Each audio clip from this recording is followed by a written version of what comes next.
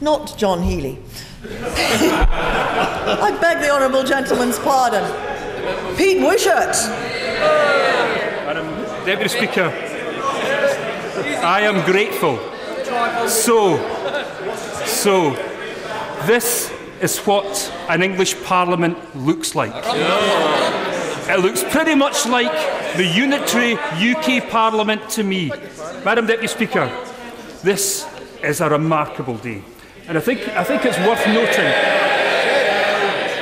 I think it's worth noting just the, his, the significance, how historical this is. Because for the first time in the history of this House, of this Parliament, members of Parliament will be banned from participating in divisions of this House based on nationality and geographic location of constituency.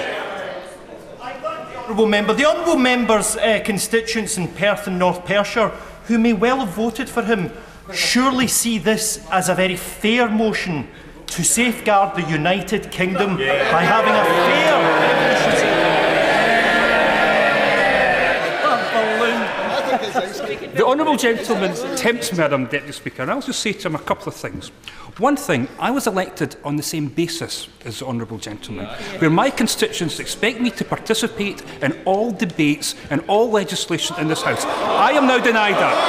I am now denied that. The second thing I'd say to the honourable gentleman, if he thinks that going down such a route as this, where Scottish members of Parliament are banned from voting on certain issues considered English only, is going to save his union, he is going to have another exactly. thought coming because Absolutely. nothing Nothing, Madam Deputy Speaker, has infuriated the Scottish people more than the measures around English votes for English laws. And how can I resist the honourable gentleman?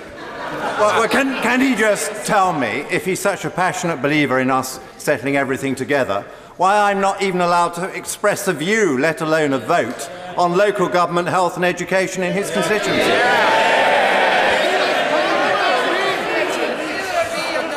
The honourable gentleman just does not understand, and I'll try and explain to him patiently once again.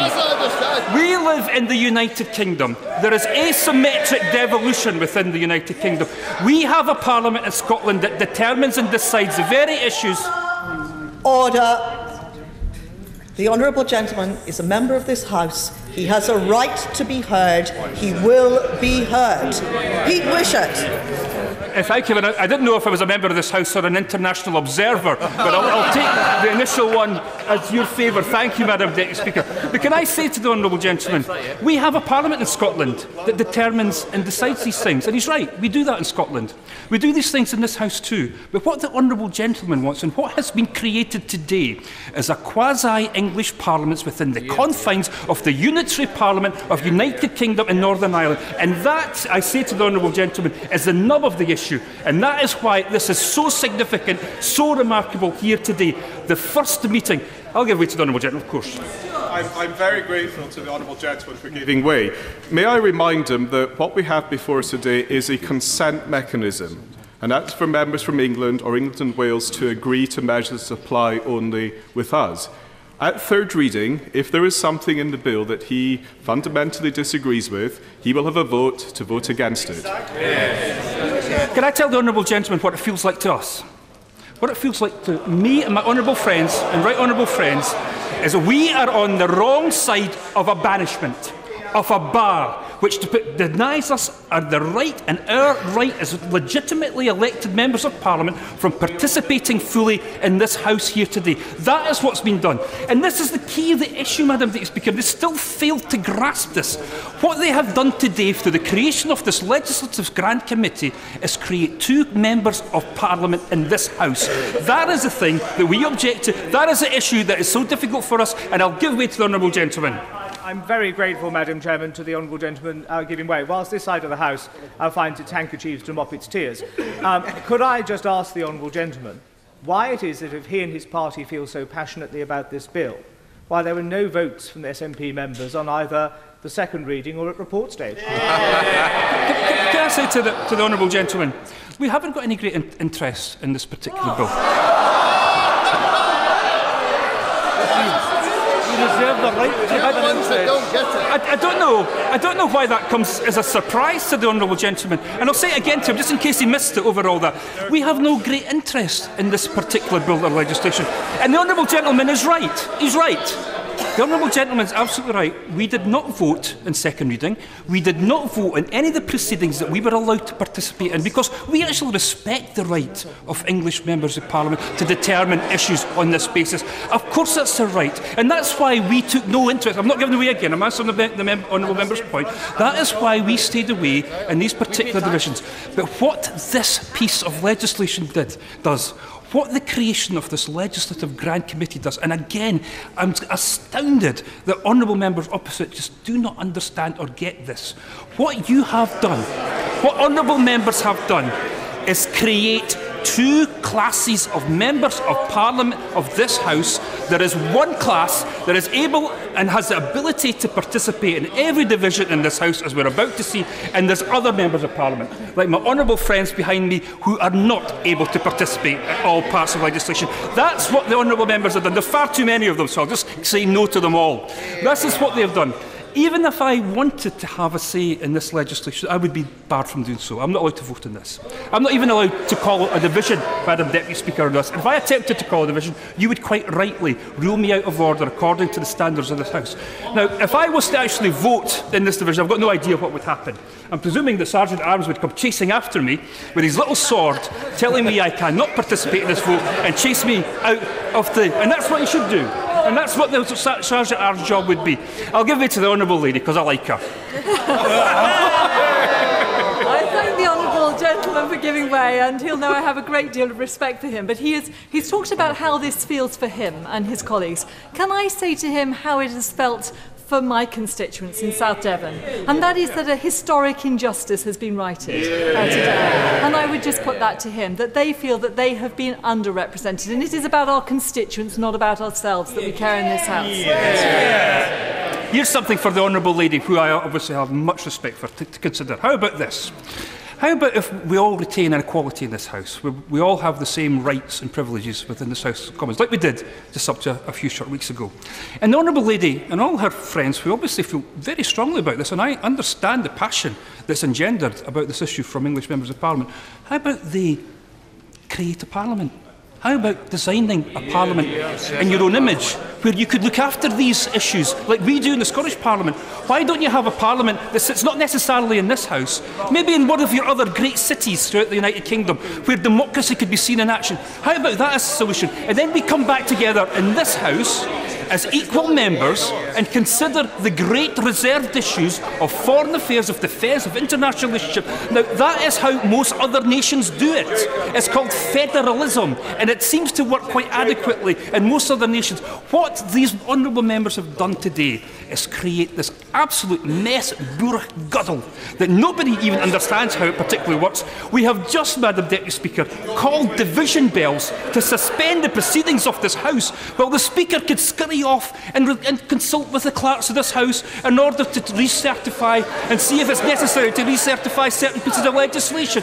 This is what has happened to the business of this, this great Parliament within the whole of the European Union. This is what we've resorted to today. And I give way to the, the Honourable Friend again, who I like very much. I, I'm very grateful for the honourable gentleman giving way, but I think he has actually got it fundamentally wrong. Yeah. That two tiers of members of parliament have not been created by the mechanism that has been used. By using standing orders, which can be changed by all members of parliament, and by this being a grand committee, not, and we see where the mace is, not the House sitting in full session, the rights of every individual member remain intact, and that is crucially important. Yep. Yeah. Yeah again, again, I have to say to the honourable gentleman, and on all candour, it's not what it feels like here. It's not what it feels like in the side.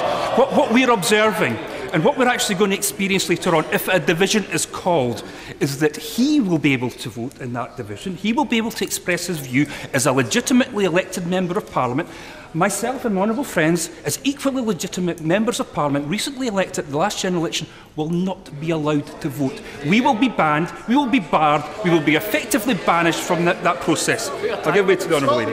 Would the honourable gentleman really expect that the taxpayers of this country are supposed to pay for this other parliament that he wishes to suggest to create simply because his feelings are somehow assaulted. I don't know how he could explain that extra layer of bureaucracy and cost to the British taxpayer, but maybe that's how they like to do it in Scotland and spend other people's money. I, I don't know if I'm, I'm grateful or not to the Honourable Lady for her intervention from that. What I think she's sort of saying is that she wants some cake and wants great dollops of it so she can spend her time eating it. And that is to have a singularly English Parliament, and it's just, let's just use the House of Commons to accommodate that. And this is the thing that's been created here, this quasi-English Parliament within the... Con now, this Parliament belongs to me as much as her. It belongs to the Scottish people as much as the English people. But what has happened today, and what is happening with this Legislative Grand Committee, is that she will be able to represent her constituents with all divisions of the House. I will not, my honourable friends will. That is what's been created. I'll give way to my lobby neighbour.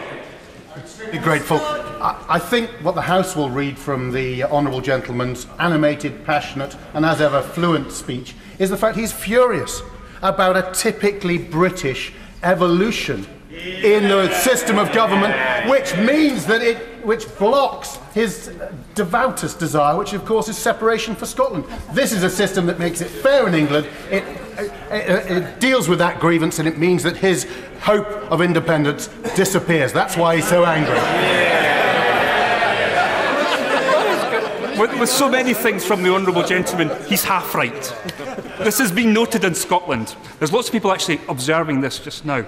What they're seeing, Madam Deputy Speaker, is this Parliament becoming, in, in effect, an English Parliament. They're seeing the voices of their members of Parliament, they, they're just so recently elected, being diminished within this House, where they will not be able to speak and vote in particular lobbies. Now, I listened to the Leader of the House during the EVEL debates. I listened to Leader of the House, and the impression the Leader of the House gave throughout all of the all the conversations and discussions and debates we had about English votes for English laws would that be all these sort of votes would be subject to a double majority. That there would be the vote of the whole House, and, and that would express its will.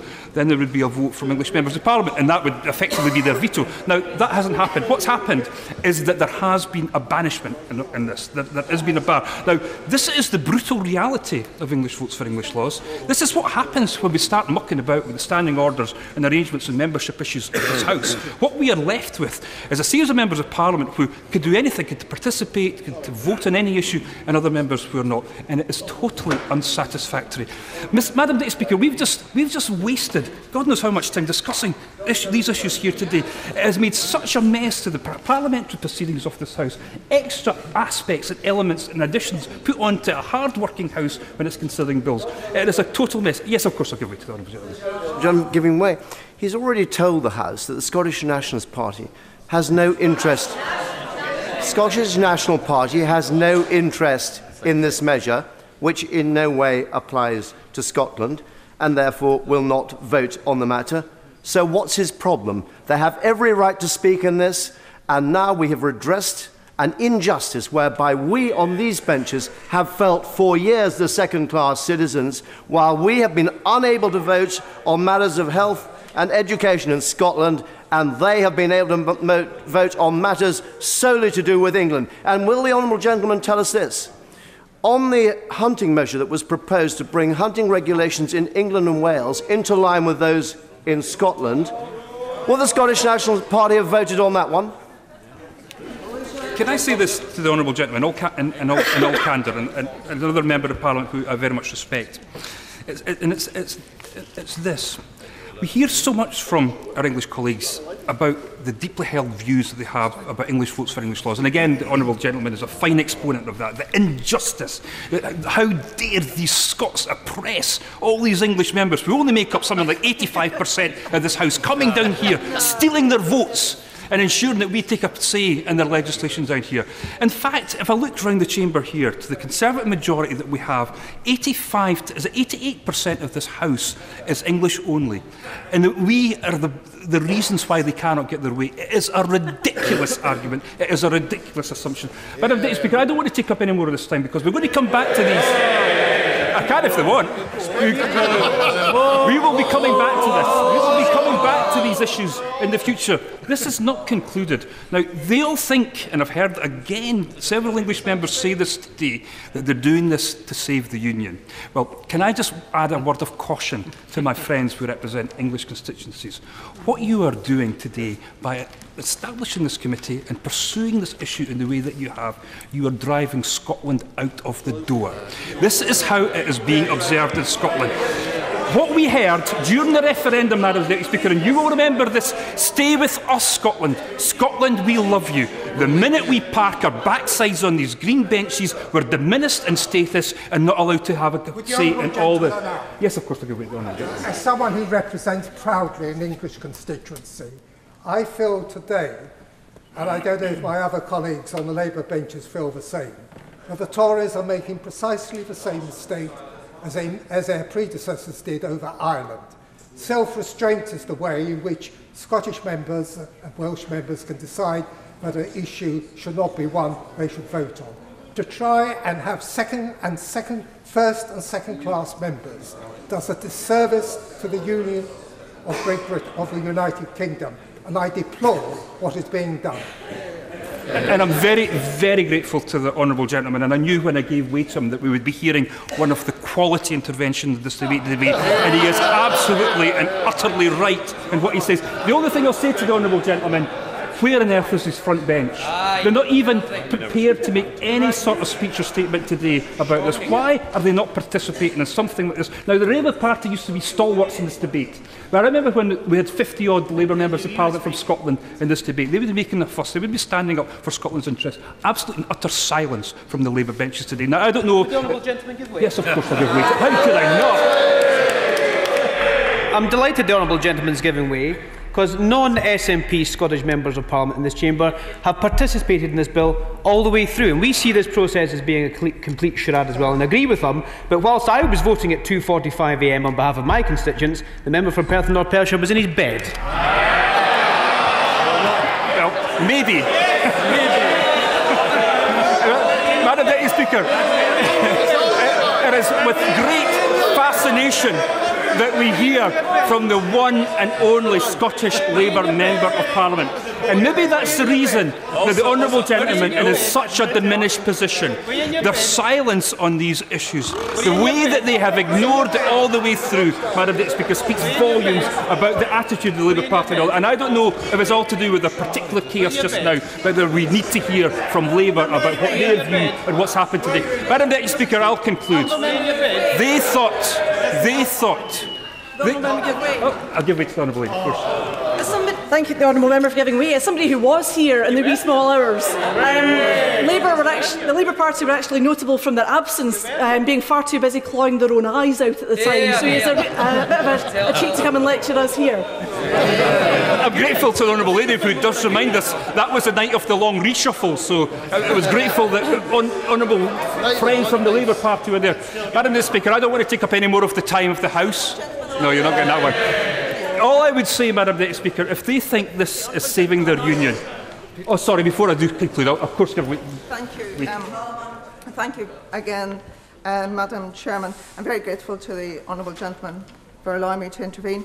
Uh, since the front bench uh, has boasted, and uh, it was a boast, that this is a historic occasion, perhaps it would help if this occasion were not flawed by the fact that, for example, I'm just taking one example, but New Clause 62 is designated as applying exclusively to England. And perhaps the Minister would just turn quickly before we proceed to New Clause 62 and see whether it applies not only to England, but I think the words Wales apply and are in the clause. The Honourable Lady who made a very creative intervention in order to put her point direct to the Minister, which I think deserves a response. But all I could say from our perspective in this, the Honourable Lady, is that we're going to see lots of issues like this. The, the, the rulings of EVEL, and to be confined to a grand committee such as this, is that no consequential issues have to be considered by the Speaker in order to make these certifications. That means there will be massive issues which will impact on my constituents down the line, and I will not be able to represent my constituents in these things. If they think they've won And if they think they believe that this is going to have anything other than a total detrimental impact for the fortunes of the Conservative Party of Scotland, they're going to have to have another think about this. Madam Deputy Speaker, this is unworkable. This is a guddle. This is a mess. This is unfair. This creates two classes of members of Parliament in this House, and this is totally accept unacceptable to the Scottish National Party and to my honourable friends. John Rudd.